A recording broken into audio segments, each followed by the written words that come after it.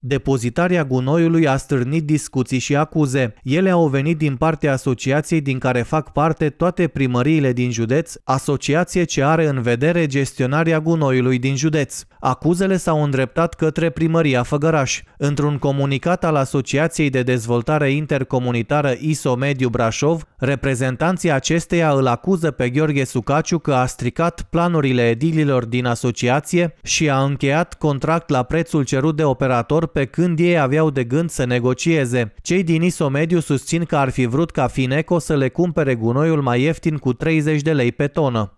În paralel cu ADI Isomediu, primăria Făgăraș a urmat aceeași procedură și a încheiat cu Fineco un contract pentru depozitarea deșeurilor pentru un tarif de 199,96 de lei pe tonă. Practic, prin semnarea contractului cu Fineco, primăria Făgăraș a lăsat ADI Isomediu fără două arme importante, acest aspect fiind evidențiat de prefectul Brașovului Cătălin Văsii, care a participat la ședința din 27 martie. Dacă Fineco nu avea un contract semnat, nu obținea licența. De asemenea, în condițiile în care au semnat deja un contract pentru un preț, încheiat cu primăria Făgăraș, nu vor putea semna contracte la alte prețuri. Sunt două arme pierdute, a declarat prefectul.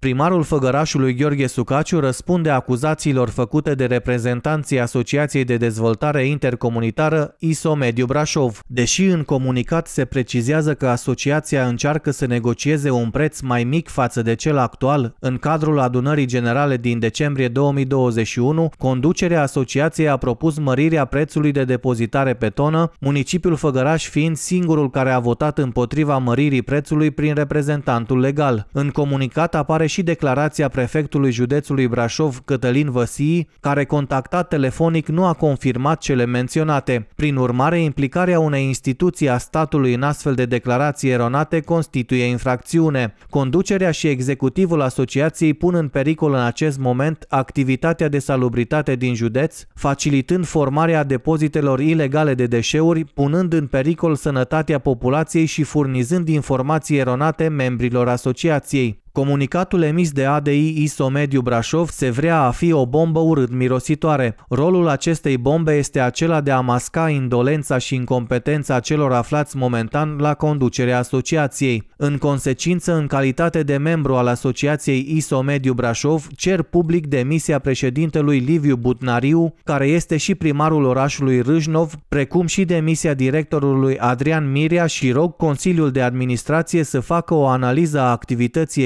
executivului asociației și a președintelui acesteia. În sprijinul celor afirmate de mine, voi atașa o adresă primită de la Autoritatea Națională de Reglementare pentru Serviciile Comunitare de Utilități Publice.